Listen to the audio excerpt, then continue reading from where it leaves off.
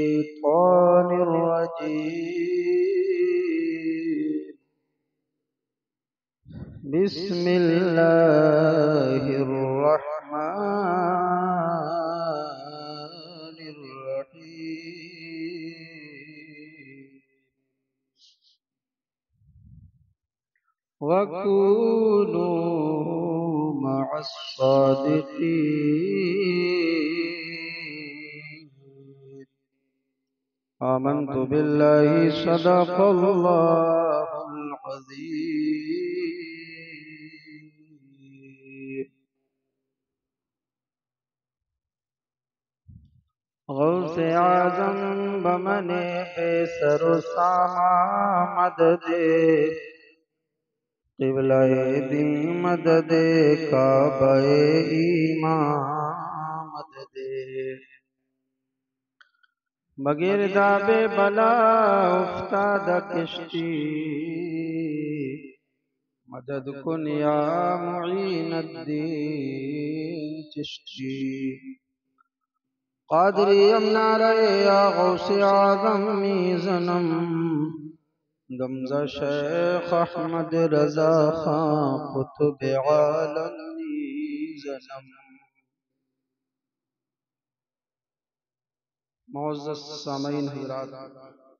सबसे पहले बारगाह रिसालत माब सल्लल्लाहु अलैहि वसल्लम में एक मरतबा हदिया दरुद पाक पेश किया जाए। अल्लाह सैदना व मौलाना मोहम्मद वलकरम व आलि वबारक वसलम सलातम वसलाम या रसूल अल्लाह या नबी अल्लाह या हबीब अल्लाह सल्लल्लाहु तआला अलैहि वसल्लम।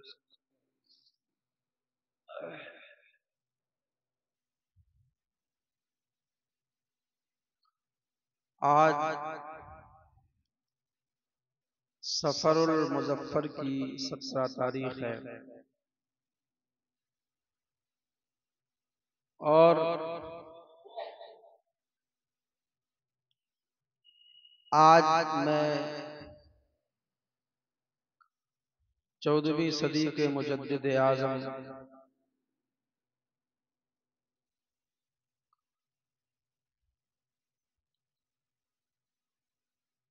आयातुम मिन आयातिल्लाह मुअजिजातुम मिन मुअजिजात रसूलुल्लाह।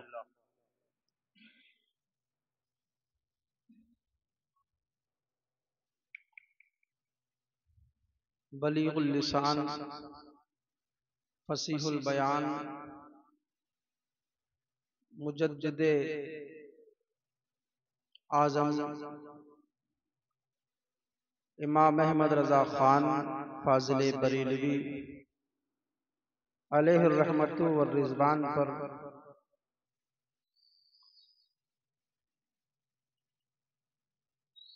कुछ रोशनी डालने की कोशिश करूँगा।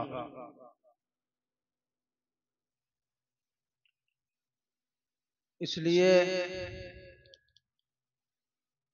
आला हज़रत फाजर बरेलवी आज सुन्नियत की पहचान है।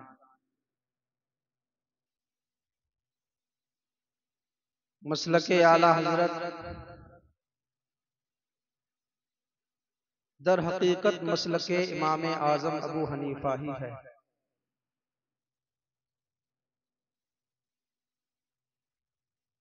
इसलिए कि जब मार्केट के अंदर डुप्लीकेट चीज़ें आ जाती हैं तो असली चीज़ को उजागर करने के लिए कोई नया नाम चाहिए होता है कोई नई अलामत नई पहचान चाहिए होती है। ताकि इसके ज़रिए लोग जान लें कि असल चीज़ है क्या।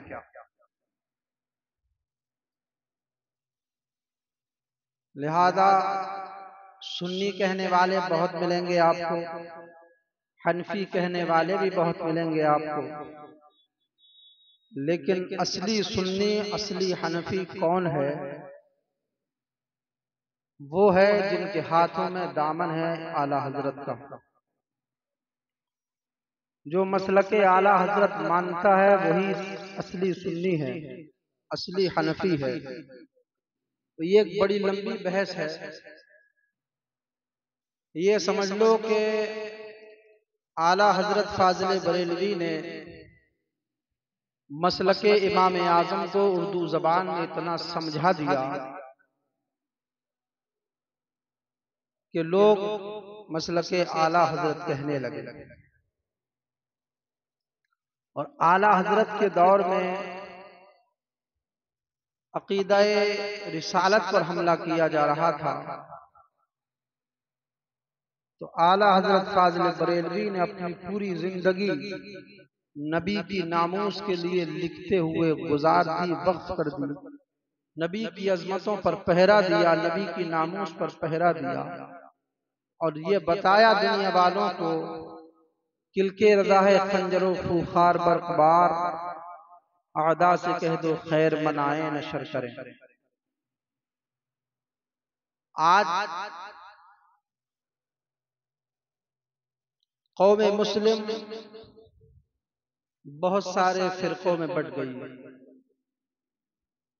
हर फिरका कई जमातों में बट गया। हर जमात कई लाबियों में बट गई। आज हर फिरके वाला अपनी तरफ़ बुलाता है कि आओ हमारे साथ आ जाओ।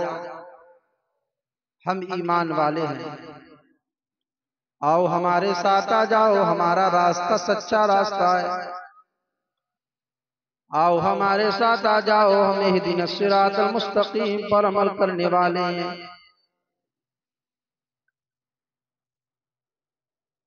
नबी पाक सल्लल्लाहु अलैहि वसल्लम ने इरशाद फरमा दिया था कि बनी इसराइल में बहत्तर फिरके हुए थे मेरी उम्मत में तहत्तर फिरके होंगे। साहब ने अल्लाह के रसूल ने साथ ये भी फरमाया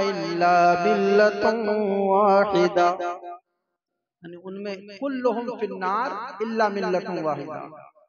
सारे फिरके जहन्नम में जाएँगे लेकिन एक जन्नती होगा। सहाब इकराम ने यह नहीं फ़र्ज़ किया या रसूल अल्लाह वो जो जहन्नमी फिरके होंगे उनकी पहचान उनका नाम बता दीजिए। बल्कि साहब ने अर्ज़ किया या रसूल अल्लाह वो जो जन्नती फिरका होगा वो जो नाजी फिरका होगा वो जो बहिश्ती फिरका होगा उसकी पहचान क्या है? हमें जहन्नमियों से कोई मतलब नहीं। इसलिए कुरान कहता है जन्नती और जहन्नमी बराबर बराबर नहीं हो सकते। इसलिए जहन्नमी जहन्नम में जाए, यानी बहत्तर जहन्नम में चले जाए, एक तो जन्नत में जाएगा, हमें उसी को तलाश करना है। साहब किराम ने अर्ज़ किया, या रसूल अल्लाह वो जो जन्नती फिरका है उसकी पहचान बताइए। वो जो जन्नती फिरका है, उसकी अलामत बता दीजिए। वो जो जन्नती फिरका है, उसकी शनाख्त क्या है? अल्लाह के हबीब ने इरशाद फरमाया जो मेरे और मेरे सहाबा के तरीके पर होगा, वो जन्नती होगा। हुजूर ने सिर्फ़ ये नहीं फरमाया जो मेरे तरीके पर होगा, बल्कि साथ में इरशाद फरमाया, जो मेरे सहाबा के तरीके पर होगा, वो भी जन्नती होगा। आज लोग कहते हैं, कुरान और हदीस, कुरान और हदीस। अरे, हदीस पाक का ये जो मफहूम है, जो मेरे और मेरे सहाबा के तरीके पर होगा, वो जन्नती होगा। पता चला जो सहाबा के तरीके को छोड़ता है, सिर्फ़ नबी के तरीके को अपनाता है, वो भी जन्नत में नहीं जाएगा। इसलिए कि अदब सिखाया है, सहाबा ने नबी का अदब कैसे किया जाए? मोहब्बत की या सहाबा ने नबी से कैसी मोहब्बत की जाए? नबी की नबी की नामूस पर किस तरीके से पहरा दिया जाए, ये सिखाया है साहब किराम ने। अल्लाह अकबर। हुजूर ने इरशाद फरमाया, जो मेरे और मेरे साहबा के तरीके पर होगा, वो जन्नती होगा। अब एक एक करके मैं नाम लेता चला जाऊँ।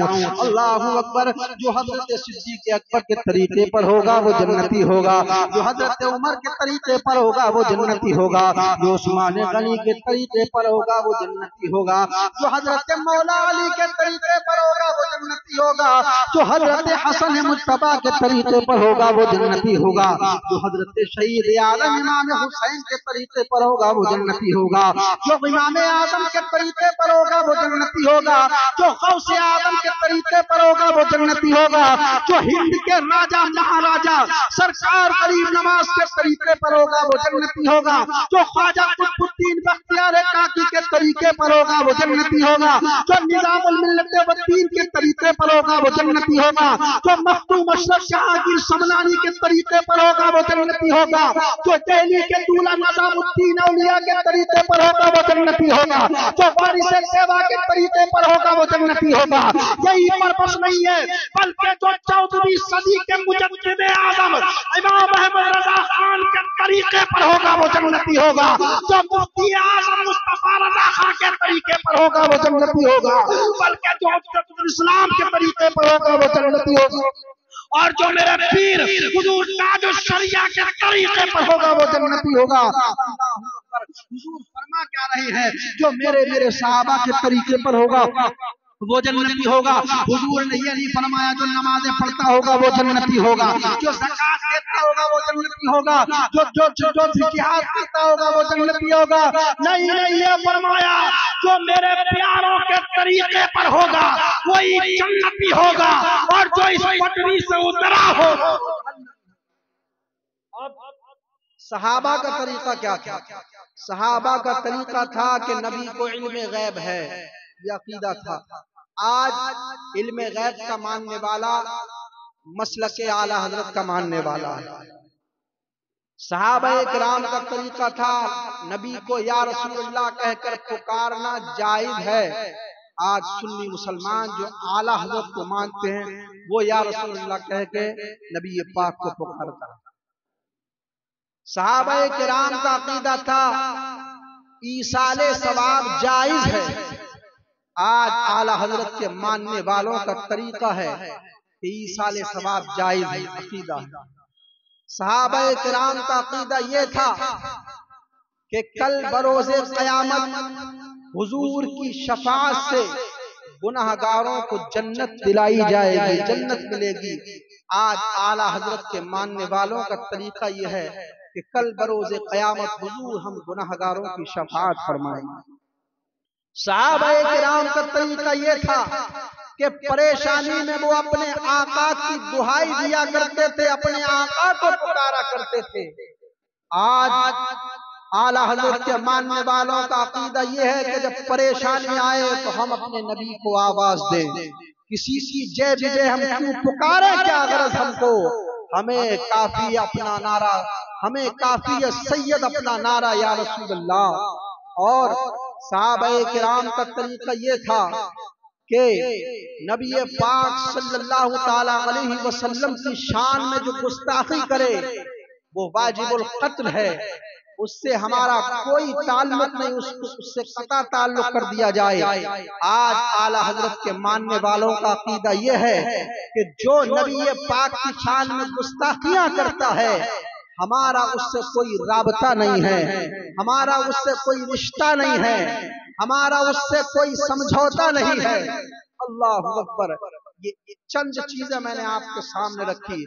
सहाबा किराम का नज़रिया और अकीदा ये था कि जो गुस्ताख रसूल है, जिसके दिल में कजी है, जिसके दिल में नबी की नफरत है, वो इस लायक नहीं है कि वो मनसब इमायत इमामत पर फाइज हो। उसके पीछे नमाजें पढ़ी जाएँ। आज आला हज़रत के मानने वालों का अकीदा भी यही है। हम भी कहते हैं जिसके दिल में नबी का बुग्ज है जो नबी की शान में गुस्ताखियाँ करता है वो इस लायक नहीं है कि उसके पीछे नमाजें पढ़ी जाएँ उससे रिश्तेदारियाँ की जाएँ उसकी मैयत में जाया जाए। यही पैगाम तो आज अल्हम्दुलिल्लाह आला हज़रत के मानने वाले दिया करते हैं। तो माँ अना अलही की जो सफ है। वो मदीने से चली, मक्के से चली, अरब से चली, और आज, अल्हम्दुलिल्लाह, पूरी दुनिया में फैल गई, जहाँ जहाँ आला हज़रत वाले हैं। समझ लो, माँ अना अलही में शामिल हैं। हम कोई ऐसा काम नहीं करते, जो सहाबा रज़ी अल्लाह के अकीदे से हटा हुआ हो। ये चंद बातें मैंने आपके सामने रखी। समझने वाले के लिए इशारा काफ़ी है। माँ अना अलही वासाबी जो मेरे सहाबा के तरीके पर होगा मेरे तरीके पर होगा वो जन्नती होगा। लिहाजा मुसलमानों समझो जो गुस्ताखियाँ करने वाले हैं उनसे कदा ताल्लुक कर दो। आज किसी दूसरे मज़हब का नबी पाक की शान में गुस्ताखियाँ कर रहा है। रोडों पर एहतजाज किया जा रहा है। होना चाहिए किसी भी धर्म में कोई भी इस्लाम के पैगंबर की शान में गुस्ताखी करे उसकी सजा कत्ल होना चाहिए फांसी होना चाहिए। ये हम मांग करते हैं हुकूमत हिंद से। और सिर्फ़ मुसलमानों के पैगंबर की तोहिन नहीं बल्कि किसी भी मज़हब के मजहबी पेशवा हो अगर किसी भी धर्म का गुस्ताखी करता है किसी मज़हब के पेशवाओं की शान में। तो हिंदुस्तान में कानून बन जाना चाहिए कि उसको सजा दी जाए। हम तो सारे मजाहिब के बारे में बोल रहे हैं लेकिन आज बार बार नबी पाक की शान में गुस्ताखियाँ करने के बाद मुसलमानों के दिल को दुखाया जाता है। उनके एहसास को ठेस पहुंचाई जाती है। हम कहते हैं जिसने जिसने नबी पाक की शान में गुस्ताखियाँ की उसका दुनिया से नामो निशान मिट गया। अल्लाह अकबर।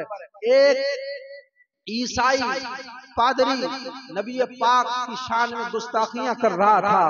बराबर में कुत्ता बना हुआ था। जब वो नबी पाक की शान में भौंक रहा था, गुस्ताखियाँ कर रहा था तो कुत्ता उधर से उस पर भौंक रहा था। वो जब खामोश हो गया तो कुत्ता भी खामोश हो गया। यहीं पर बस नहीं, उसने फिर बोलना शुरू किया।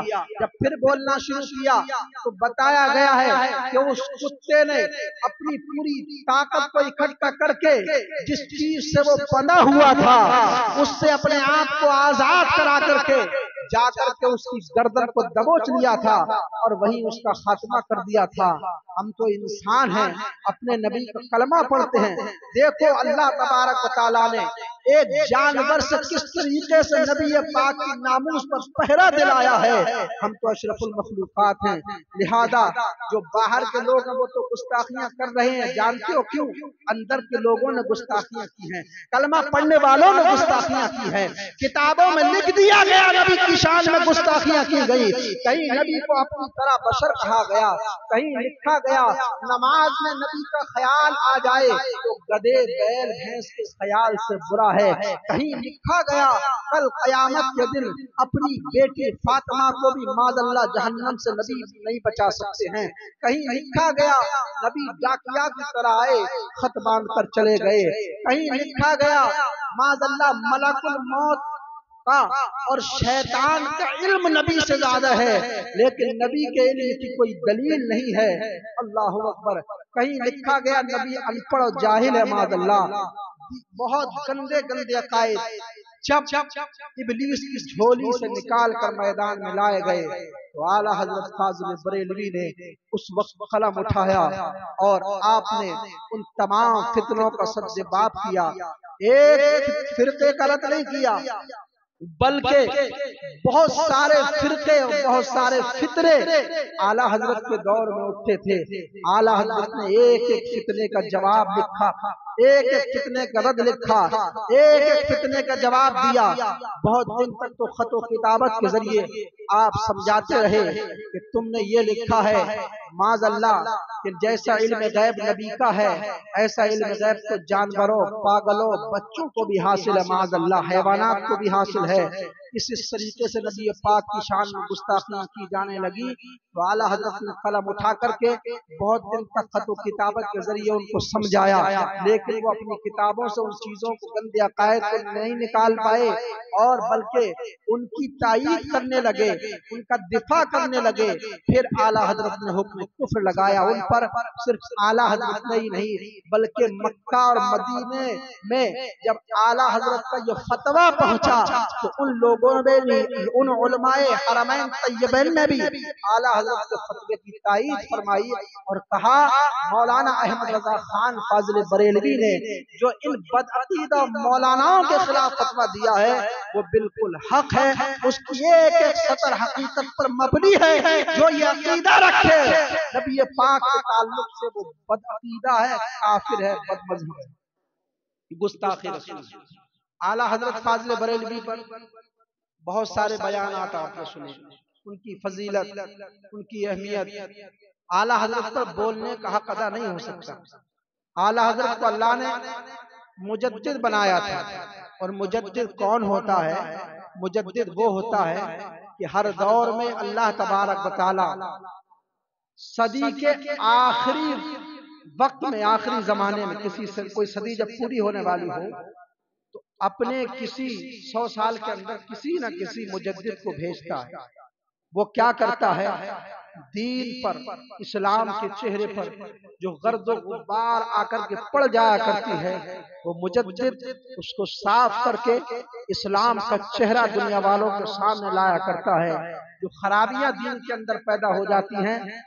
वो खराबियाँ मुजद्दिद दूर किया करता है जो सुन्नतें नबी पाक की मिटाई जाती हैं वो सुन्नतों पर खुद भी अमल करता है बड़ी से बड़ी सुन्नत और छोटी से छोटी सुन्नत पर मुजद्दिद अमल किया करता है। आला हज़रत ही नहीं बल्कि कितने मुजद्दिद आला हज़रत से पहले गुजरे। मुजद्दिद वक्त के फितनों से मुकाबला किया करता था किया करता है। अकबर के दौर में भी जब फितरे उठे दीन इलाही आया। उस दौर में भी एक मुजद्दिद आए थे जिनको इमाम रब्बानी मुजद्दिद अल्फिसानी कहा जाता है। अकबर के दौर में अकीदाए रिसालत पर हमला हुआ था। अब अकबर के दौर में अकीदाए तोहीद पर हमला हुआ था।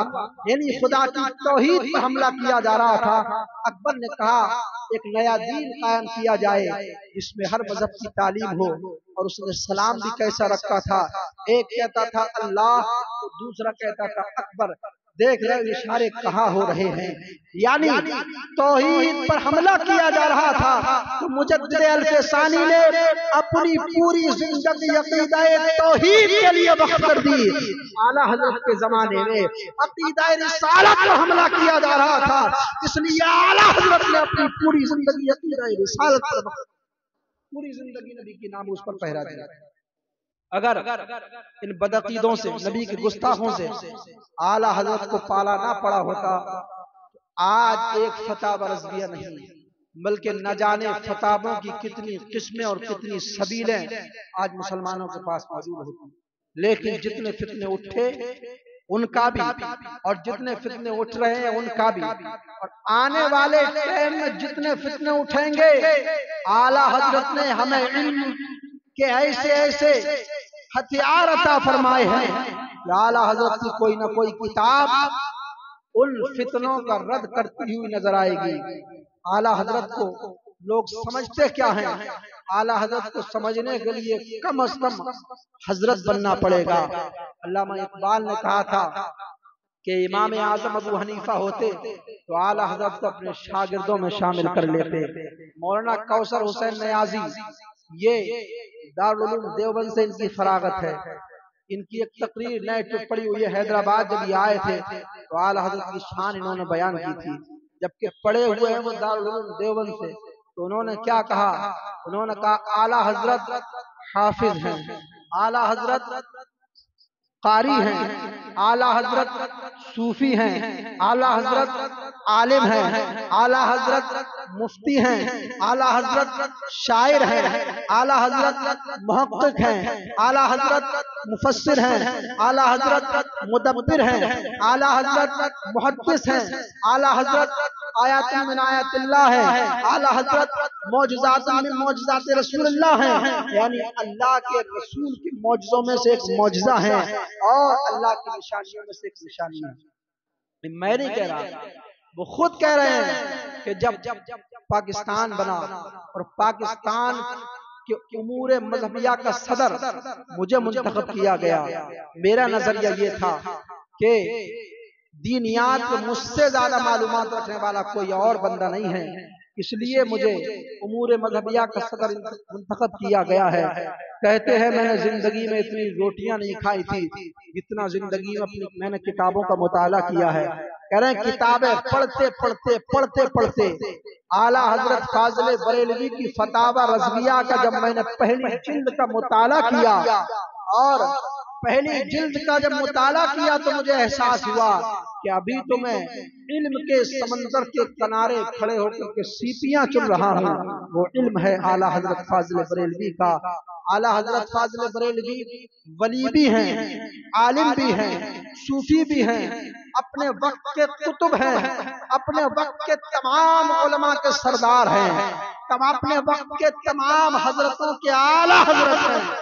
आइए एक गुलाम हुसैन बरेली करके एक बहुत बड़े आलिम दीन गुजरे हैं, जो बरेली के रहने वाले थे। उनको इल्म नजूम पर बड़ी महारत हासिल थी। आला हज़रत की बारगाह में आए, आने के बाद अर्ज़ करने लगे, ऐ मौलाना अहमद रजा खान, आला हज़रत से जब मुलाकात हुई तो आला ने फरमाया, ये बताओ बारिश कब होगी?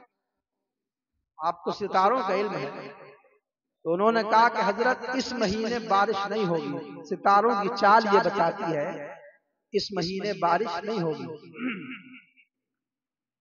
तो आला ने फरमाया कि अगर अल्लाह चाहे तो इसी महीने बारिश होगी। आप सितारों की चाल नहीं देखते। आपने फरमाया घड़ी में कितना बजा है? तो कहा ग्यारह बजकर कुछ मिनट हुए हैं। कहा, बारह बजने में कितना वक्त है? कहा, पौन घंटा बाकी है। आला हज़रत ने लिया तो बड़ी मतलब बारह बजा दिए उस घड़ी में। तो बताओ, अब कितने बजे हैं? कहा कि बारह बज चुके हैं। कहा भी आपने दावा किया कि पौन घंटा के बाद ही बारह बजेंगे इस घड़ी में। उससे पहले बारह नहीं बज सकते। तो कहा कि ये तो आपने अपने इख्तियार की वजह से इसमें बारह बजा दिए। तो कहा मैं यही बात समझाना चाहता हूँ। अल्लाह चाहे तो सितारों की चाल बदल सकती है। अल्लाह चाहे जिस तरीके से मैंने सुई को खींच के बारह पर पहुँचा दिया है, अल्लाह चाहे तो इस सितारे को खींच कर यहाँ पहुँचा दे, इस सितारे को खींच कर यहाँ पहुँचा दे, इस सितारे को खींच कर यहाँ पहुँचा दे। मौलाना, इंशाल्लाह बारिश इसी साल होगी, इसी महीने होगी, इसी हफ़्ता होगी, बल्कि इसी दिन होगी, बल्कि अभी होगी, जब निगाह उठा करके देखा तो बाहर बारिश बरस रही थी। आसमान अपने बारह चपका रहा था। ये है आला हज़रत की मकबूलियत। और एक बुज़ुर्ग और है जो कि शरकपुर के रहने वाले थे। सैयद मोहम्मद शरकपुरी रहमत आला हज़रत फाजिल बरेलवी अले रहमत रिजवान के बड़े मद्दा खां थे। और उसकी वजह यह हुई कि उन्हें गौसे आदम का दीदार हुआ। ख्वाम में। किसको? मौलाना सैयद मोहम्मद शरफपुरी को। तो गौ से पाक तशरीफ़ लाए अर्ज़ किया ए सरदारुल औलिया ये बताइए इस वक्त दुनिया में आपका नायब कौन है? तो उन्होंने कहा गौसे पाक ने इरशाद फरमाया कि दुनिया के अंदर इस वक्त जो मेरा नायब है वो बरेली का मौलाना अहमद रजा खान है। जब इतना साफ़ देखा तो चल पड़े शरकपुर से बरेली शरीफ मुलाकात के लिए आला हज़रत से। गए। आला हज़रत से मुलाकात हुई। आला हज़रत ने चार दिन उनको अपने मेहमान रखा। और आला हज़रत ने उनको अपना आला हज़रत ने उनका हाथ चूमा हाथ का बोसा लिया। पूछा आप मेरे हाथ का बोसा क्यों ले रहे हो? पहले आला हज़रत के हाथों को चूमा।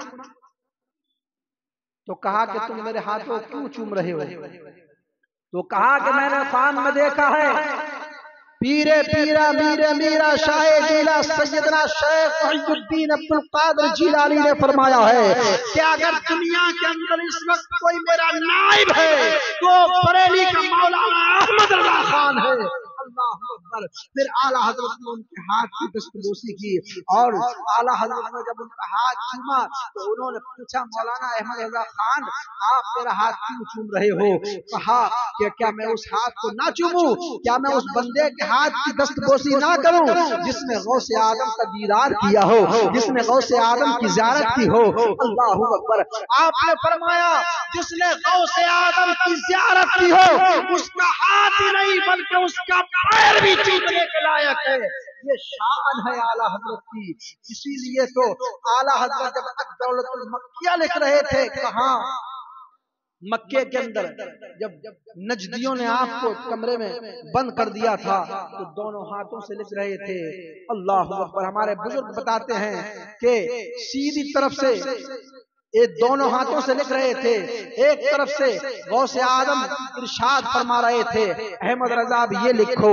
अहमद रजा ये लिखो। अहमद रजा ये ये लिखो। इसीलिए तो आला हज़रत जो है गौ से पाक से बेइंतहा मोहब्बत फरमाया करते फरमाते अपनी शफात के लिए के जब जब नबी ये पाक की बारगाह में जाऊँगा तो शफी बना करके गौ से आदम को लेकर के जाऊँगा। किसी और को लेकर के नहीं जाऊँगा। आज आला हज़रत पर बोलने का हक अदा नहीं किया जाता इतने मौजू पाए जाते हैं। आला हज़रत रद्द वहाबिया आला हज़रत रद्द दयाबना आला हज़रत रद्द बातला आला हज़रत और साइंस आला हज़रत और जोग्राफिया आला हज़रत इल्म माशी आला हज़रत इसलाह माशरा आला हज़रत और साइंस। न जाने कितने उलूम आला हज़रत। एक सौ पाँच उलूम पर आला हज़रत को महारत ताम हासिल की पहले चौवन उलूम। आला हज़रत पर मानते हैं मैंने चौवन उलूम पर किताबें लिखी हैं। मतलब चौवन सब्जेक्ट पर आला हज़रत ने किताब लिखी हैं जिसमें फरमाते हैं बाईस उलूम वो हैं जो मैंने किसी भी यूनिवर्सिटी या किसी उस्ताद से नहीं पढ़े। बरेली में बैठकर अल्लाह ने मुझे अता कर दिया। अल्लामा इकबाल जो दुनिया की सबसे बड़ी यूनिवर्सिटी है उससे फारिग थे। जानते हो चौतीस उलूम पढ़ाए जाते हैं यूनिवर्सिटियों में। चौतीस उलूम पढ़ाए जाते हैं। उन उस यूनिवर्सिटी में। लेकिन आला हज़रत पर जब रिसर्च किया गया तो पहले कहा गया छप्पन उसके बाद जब और रिसर्च बढ़ी तो कहा गया पचहत्तर उलूम या सत्तर उलूम उसके बाद नब्बे उलूम रिसर्च बढ़ती चली गई। आज जदीद तहकीक ये है कि आला हज़रत एक सौ पाँच उलूम के माहिर थे। एक होता है इल्म आना, लेकिन एक होता है उस इल्म में माहिर होना। आला हज़रत फाजिल बरेलवी पर बोलने का हक अदा नहीं किया जा सकता है। उन्होंने कौम को किसी भी मैदान में मायूस नहीं किया है। जब जब जब कुरान पाक के नाम पर कुरान पाक का तर्जुमा गलत किया जा रहा था, जब लिखा जा रहा था, इन्ना फताना लका फतह मुबीना अय महबूब, हमने आपको खुल्लम कुल्ला फतह दी, ताकि मादल्ला आपके अगले पिछले गुना माफ़ कर दिए जाएँ। आला हज़रत ने जब कुरान का तर्जुमा गलत होता हुआ देखा, आला हज़रत ने कंजुल ईमान अता फरमाया इस कौम के लिए, और तर्जुमा किया, हमने आपको खुल्लम कुल्ला फतह दी, ताकि अल्लाह गुना बख्शे आपके अगलों की और आपके पिछलों यानी आपके सबब से आपकी उम्मत के गुना बख्श दे। एक कुरान में तर्जुमे में ये कहा जा रहा है मादल्ला नबी गुनागार है। आला हज़रत ने बर्रे सगीर के मुसलमानों का ईमान बचा लिया और सही सही तर्जमा पेश कर दिया आज भी पूरी दुनिया के अंदर सबसे ज़्यादा पढ़ा जाने वाला जो कोई तर्जमा है तो वो कंजुल ईमान जो आला हज़रत ने दिया है। तमहीद ईमान आला ने दिया इल्म गैब के मामले पर जब सवाल उठा, दौलतुल मक्किया आला ने अता फरमाई। जब फताबे के मामले में बात आई तो अल्लाह ने फता बरस दिया बारह जिल्दों में। बत्तीस जिल्द उसकी बन चुकी है। ये अजीम किताब पर फरमाई। औरंगज़ेब रहमतुल्लाह अलैह ने जब जब फताब आलमगिरी को लिखवाया तो जानते हो, एक रिवायत में तीन सौ और एक रिवायत में पाँच सौ इकट्ठा किया और फरमाया था एक किताब लिखो। उस किताब का नाम फतेह आलमगिरी रखा गया। लेकिन आला हज़रत ने जब फतह बरसबिया लिखी है तो कसम खुदा की। वो तो पाँच सौ उलमा लिख रहे हैं लेकिन फतह आला हज़रत ने तनहा लिख रहे हैं। ये शान है बरेली के रजा की उन पर बोलने का कदा नहीं किया जा सकता। इस्लाही माशरा आपने कैसे किए? आज लोग इल्ज़ाम देते हैं कहते हैं वो बिदतियों के इमाम थे। उन्हें उन्होंने बिदतों को रिवाज दिया है। ताजिया के ताल्लुक से आपसे सवाल किया गया कि ताजियादारी बनाना करना कैसा है? आपने फरमाया जो मुरब्बिजा ताजियादारी है, वो नाजायज हराम है। ढोल ताशे और जो खुराफाते वहाँ पर होती हैं, ये सब नाजायज हराम है। आला हज़रत इस तरीके से इस्लाह माशरा फरमा रहे हैं। पूछा गया कब्रों पर किस तरीके से हाजिरी दी जाए? आपने फरमाया जिस तरीके से ज़िंदा जब जाहिरी तौर पर थे वो। तब उनके पास हाजिरी दिया करते थे। इसी तरीके से कब्र से दो तीन हाथ के फासले पर खड़ा हो जाए और खड़े होकर के चंद आयत कुरान मजीद की पढ़कर के उनके नाम इसाले सवाब कर दिया तवाफ के ताल्लुक से कब्रों के पूछा गया, आपने फरमाया खाना काबा के तवाफ के अलावा किसी और जगह तवाफ की इजाज़त नहीं है। ये सब आला हज़रत बिदतों को खत्म कर रहे हैं। इसलाह फरमा रहे हैं कब्र पर अगर अगरबत्ती सुलगाने के ताल्लुक से पूछा गया कि कब्र पर अगर अगरबत्ती सुलगाना सुलगाना कैसा है? आला हज़रत फरमाते हैं, अगर खुशबू सूंघने वाले लोग वहाँ हो यही रास्ता चल रहा हो, लोग आ रहे हो, जा रहे हो, खुशबू सूंघने वाले लोग वहाँ मौजूद हों तो कब्र से एक डेढ़ हाथ के फासले पर अगरबत्ती लगाई जाए और अगर खुशबू सूंघने वाले लोग नहीं हो तो वहाँ अगरबत्ती ना लगाया जाए लगाई जाए, इसलिए कि फजूल खर्ची है। आला हज़रत ये बता रहे हैं। चादरों के ताल्लुक से पूछा गया कि कब्रों पर चादरें चढ़ाना कैसा है? आला हज़रत फरमाते हैं वाकई किसी अल्लाह के वली का मदार है। वो एक चादर डाल दी जाए उसकी इजहार अजमत के लिए काफ़ी है। ताकि लोग समझ लें कि किसी अल्लाह के नेक बंदे किसी वली का मदार है। एक चादर डाल दी जाए बकिया ढेर चादरें उठा करके उनको बेच करके उनका पैसा गरीब और मिस्किनों में तकसीम कर दिया जाए ये आला हज़रत दे रहे हैं बताओ, ये खुराफात है, ये बिदत आला हज़रत खत्म कर रहे हैं कि बढ़ा रहे हैं? औरतों के ताल्लुक से पूछा गया कि मदारों पर औरतों की हाजिरी कैसी है? आप फरमाते हैं कि जब औरत मदार पर जाती है हाजिरी के लिए तो अल्लाह और उसके फरिश्तों की लानत उस पर होती है और जिस कब्र पर जाती है, साहिब कब्र की रूह उस पर लानत भेजती है। सिवाय रसूलुल्लाह के मजार के अलावा और किसी के मजार पर इजाज़त नहीं औरत को जाने की हाजिरी की नीयत से। बाकी उसमें दूसरी कंडीशन है कि औरत औरत के मदार पर जाए या वो औरत जो बीमार है किसी आसेब ने पकड़ रखा है किसी जिन ने पकड़ रखा है कोई औरत पर जादू कर दिया गया है।